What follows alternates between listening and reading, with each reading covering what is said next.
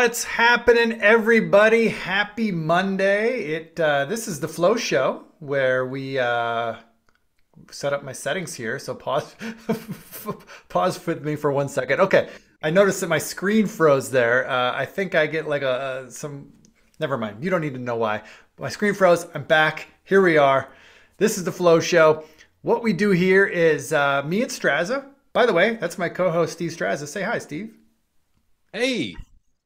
This is the show where Strazza actually gets to talk, uh, other than uh, as opposed to that other show he's on in the mornings. Uh, we actually value his opinion here, so uh, he gets the floor a lot on this show. But, but I'm just going to set it up here. This is what we, this is what Strazza and I do, just about every day, right? We we we go back and forth about different ideas. Uh, Strazza's got some great uh, some charts he wants to look at. He and he throws them to me and says, "Hey, can we put an options trade on here?"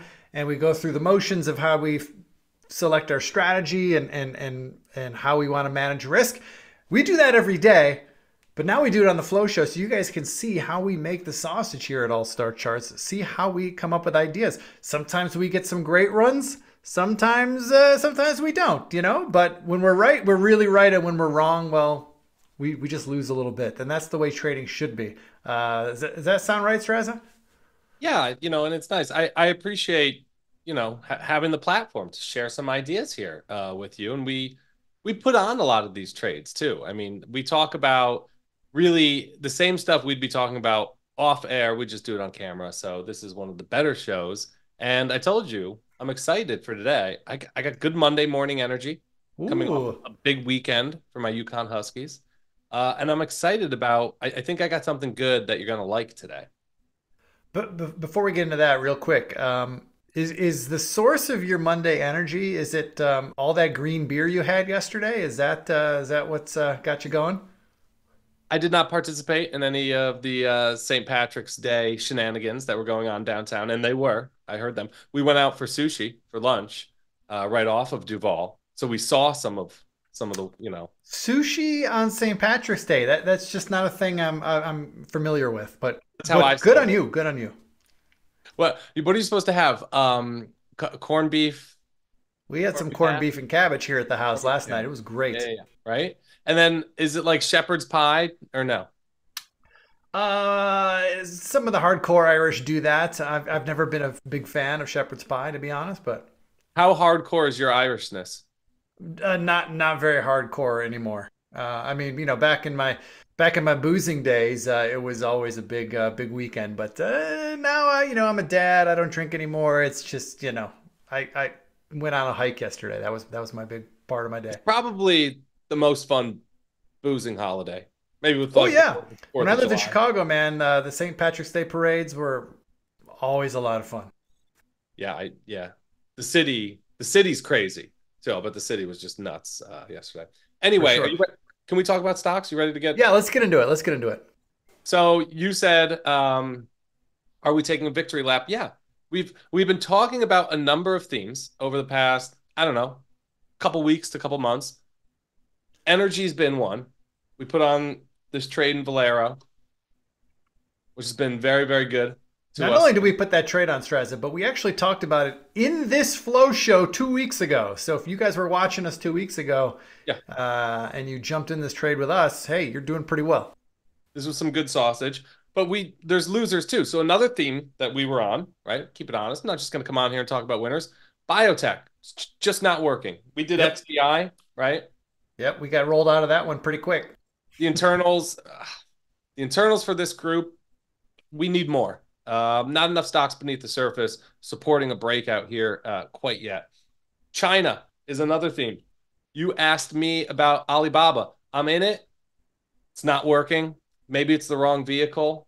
Why, why were you interested in that? You asked me last week, right? About Baba? Um, well, I mean, I have some exposure in China, but I did it via the uh, the ETF FXI. Um, but you know, having that type of exposure, I want to know how the big caps are doing.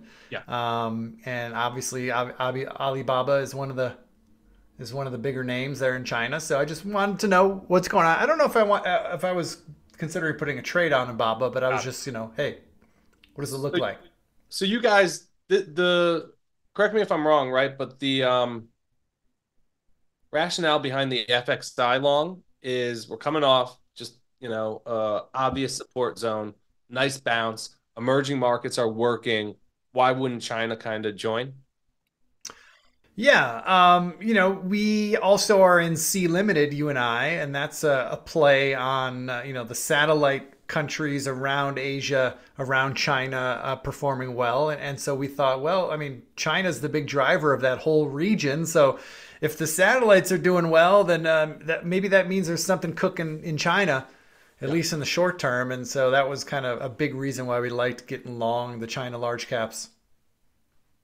All right. I don't. We don't need to do China today.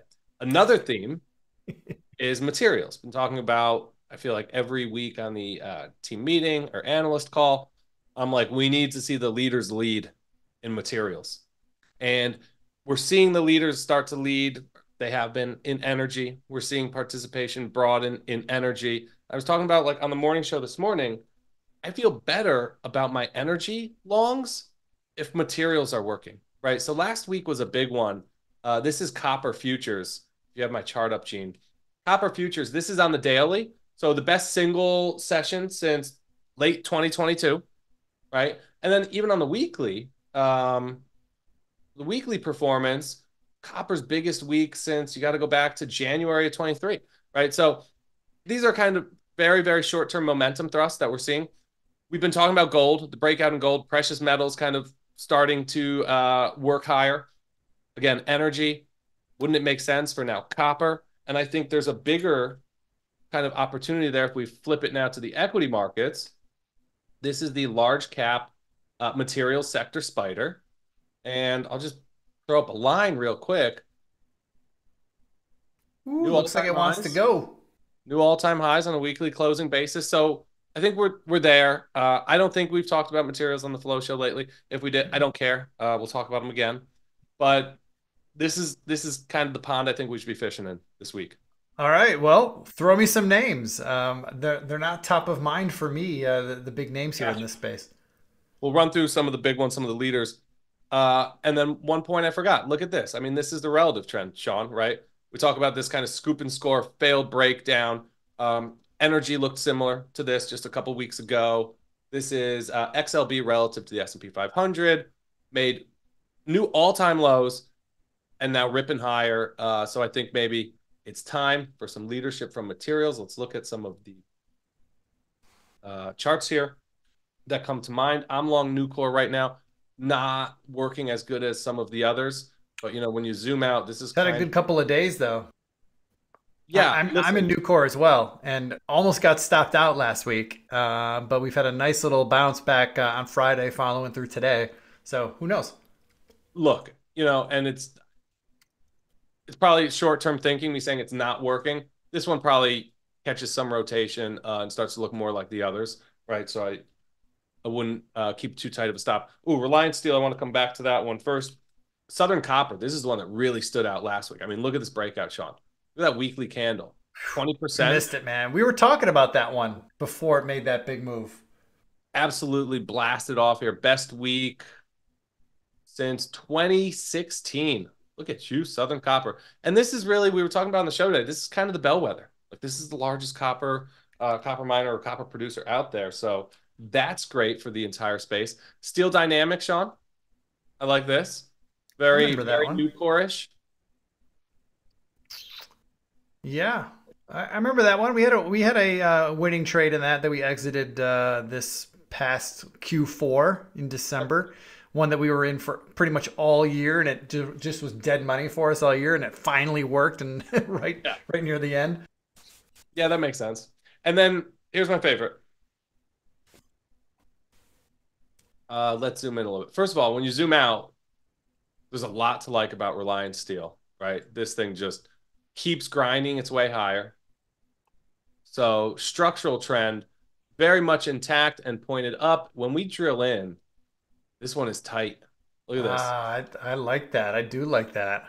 So like, you know, a lot of materials names have been really, really sideways for years now. Uh, this one keeps kind of steadily moving higher out of these bases. The most recent one, just you know, off of the what July summer of last year's highs, We worked our way higher, got right back to that breakout level, and then this, you know, awesome breakaway gap into what's now over a month long coil.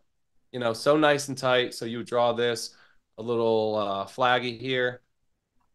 Looks great.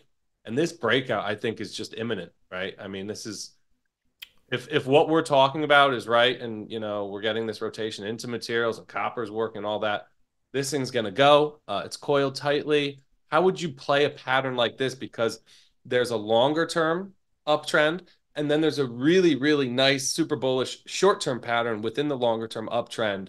So from a time frame perspective, you could kind of do a number of things here. I'm gonna I'm gonna split the difference on you there, and I'm gonna kind of play it medium term. Um, yeah. I I kind of like going into September options. We don't have too many uh, options expirations to choose from, unfortunately. Um, so is it liquid farther, enough? John, the farthest we can go out is December, but I, I don't want to go that far out. I'm thinking uh, because I see what you're seeing there, and this this action that we've been seeing in the last few, several weeks feels like it's a it's a tightening coil, and if it if it springs, it's going to spring quickly. Yeah. So I like looking at the September options because it's a high priced stock, um, you know, if, if you wanted to, you could just buy the calls, but the calls are a little rich for me as far as how I can manage risk for my portfolio. So I would play this with a spread, and I'm looking at the uh, the September 350 400 call spread. So that means you're buying the 350 calls, selling the 400s against it, you can okay. get into that spread right now for about 1050, give or take. You might have to work the order a little bit. The, the, the bid ask spread on these is a little little wide, but that mo- mostly is reflected on the fact that this is an expensive stock, right? Um, but I think you can get uh, if you're patient, you can get filled uh, for certainly under 11 bucks. And if this thing rips, I mean, I gotta believe it's gonna it can challenge 400 in short order if this thing follows through on this coil, yeah. I love this short term pattern, but just to be clear, like these high price stocks, this is why they're obnoxious. That's like a thousand dollar uh, outlay for this. Yeah. Right? So if you buy, if you were to buy a one lot, so you buy one call of the, buy one 350 call and, and sell a 400 call, it's going to cost you about 1050 right now, which translates to a thousand dollars, one thousand fifty dollars per one lot. So yeah, it's not for every account. If you're trading with a smaller account, that might be too much to risk, and I totally get that. Um, but for those of you who who can shoulder a one thousand dollar risk or more, this is a great trade. And you know what? You don't have to do. You could you could make it a tighter spread if you still want to participate in upside, but you but you don't want to spend so much. Like you could uh, buy the three fifties and sell the three seventies, yep. and it'll cost you half as much, about five fifty. But your upside is is, less, uh, right? So explain just, the difference there. So if you buy the 350 call and sell the 370 call, you know what? Actually, Gene, why don't you uh, flip to my chart here real quick? Let's yep. let's do a visual uh, exercise here. Um, so I'm going to bring up the Analyze tab. Oops, hold on. I have to uh, do a uh, Analyze trade. Okay, so if you see here, this is this is the uh, P&L structure of a bull call spread. So you're long the 350 calls here.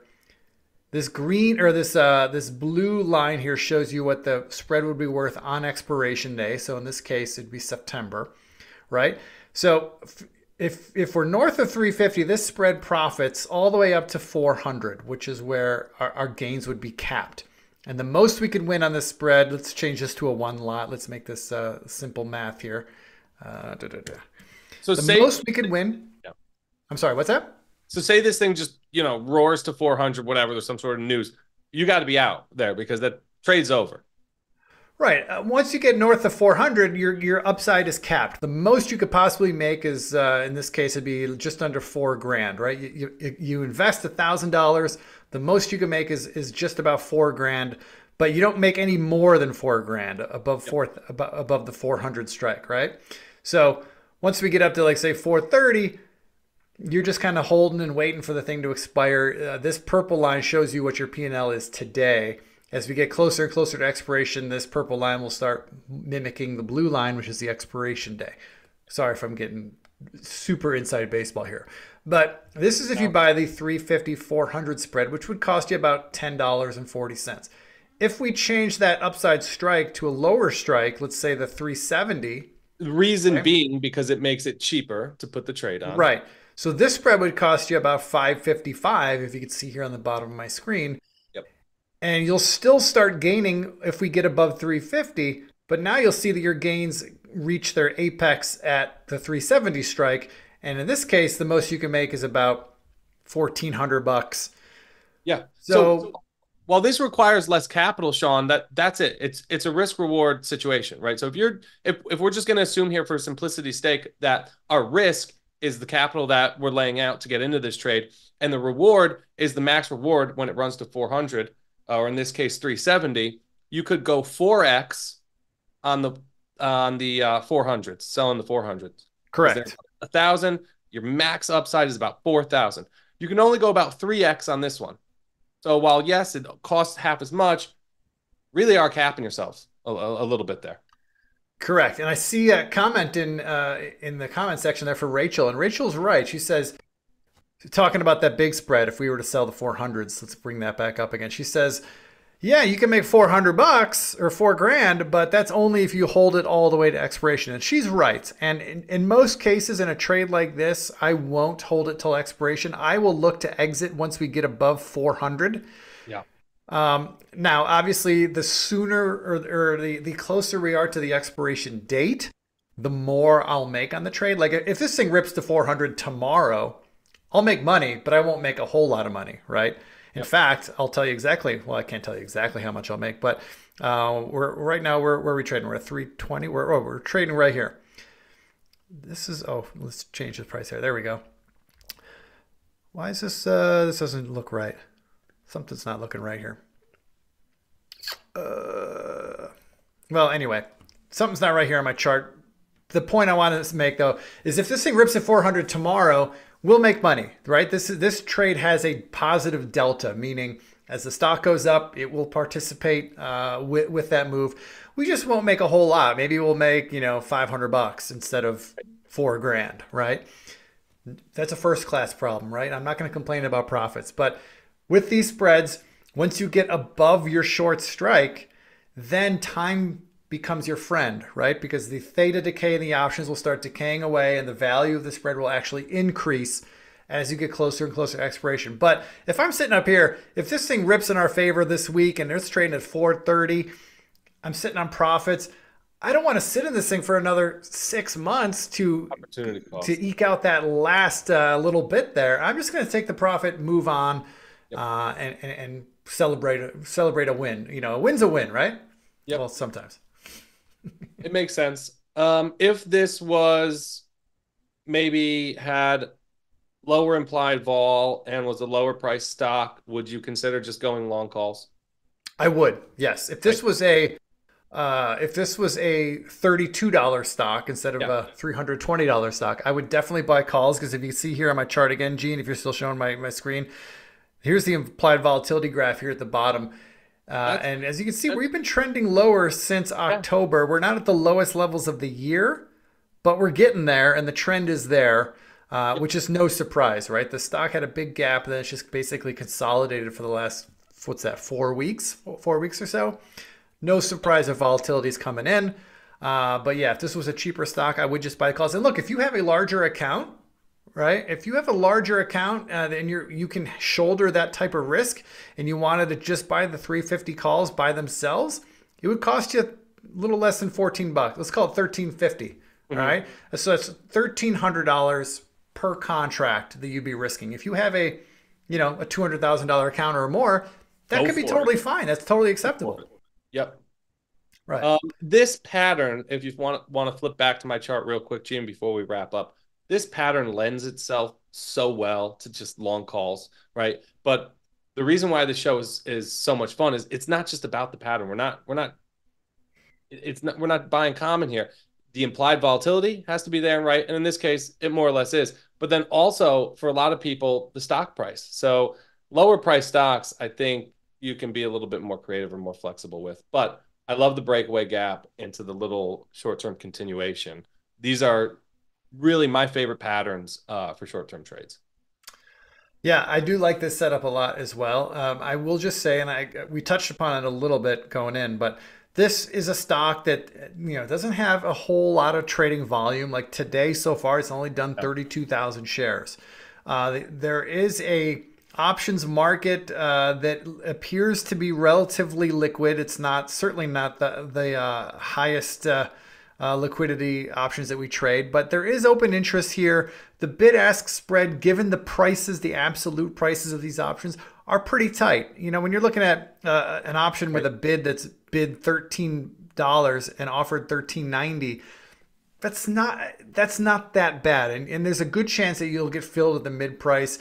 You, my point is, is you may have to be patient working a fill here, but that's okay right? I mean, I there's times, and I know you do this, Strazza. You'll put a limit order out to buy a spread or an option, and sometimes you'll just let it sit all day, and sometimes you don't get it, and that sucks. But more often than not, patience pays. You know, this these are September options, right? We have till September for this trade to play out for us, and considering that the stock has been consolidating for the last five weeks. I mean, the chances that we get into this thing right now and it rips today and we miss it are pretty low. So, I'll put an order in to get into this trade. I'll let it sit. I'll work it. I'll be patient. Maybe, uh, hopefully, I'll get filled by the end of the day. If I don't, maybe I keep working it tomorrow. We got time. Yep. And you always, you, you never want to chase, right? When when you're trying to do something like this, like, like I said, yeah, I'll leave the limits out for a while, but it's also because you do the risk reward equation in your mind. Think about where the stock could potentially go. Look at the P and L calculator, and then you should have a level in your mind or, or a price that you're willing to pay, and not above that right? So that's your limit. You don't go above that. You don't chase right. because then that risk reward equation that looks so good, you're ruining. And consider this, Strazza. The stock's currently trading at uh, with a 322 handle, right? 322 and change. We're putting this trade on because we think that there's a good chance if this thing breaks out further and, and follows through that it's going to make a run to 400 or or beyond, right? Yep. So if it's trading at 322 and if we have to pay up to 325, 326 before we finally get in, yeah, that's higher from here, but in the grand scheme of things, we're playing for a move to 400, right? Yeah. So it's you know, don't obviously don't chase it if it's a trading at 350, 360, but you know, from here up to say 325, 326, 327, I don't hate any entries in that price range for this thing. Right. Because the reward is is so juicy when you're trading these long calls. Absolutely. All right. Hey, Reliance Steel. Look at that. RS. We're getting in. We're, we we like a September bull call spread, doing the 350 calls, selling the 400. And if you have a large account and you're comfortable with the bigger risks, maybe just buying the 350 calls is the move for you. I, I might consider that myself, but I, I like to. I generally, me speaking, I, I, like to trade in smaller units, so I like to keep my risk. Uh, you know, I don't like to risk too much, so I'll probably do the spread. That's the way I like it. Uh, but nothing wrong with buying the calls if, uh, if if that risk level is okay with you. You, you well, see what's going on here? We're we're talking about commodity stocks more and more these past few weeks. Well, that's what's been working, right? Interesting. Yeah, it's information. Hey. Yeah. There's all, as Jim Cramer would say, there's always a bull market somewhere. In this case, it happens to be, uh, you know, materials and metals and commodities and cool stuff that uh, is very unsexy on the uh, the afternoon talk shows. Who needs AI? When you got steel. That's right. All right, guys, this has been the Flow Show. Thanks for tuning in. He's Steve Strazza. I'm Sean McLaughlin. We'll see you tomorrow on the morning show. Until then, take care. Bye, everybody.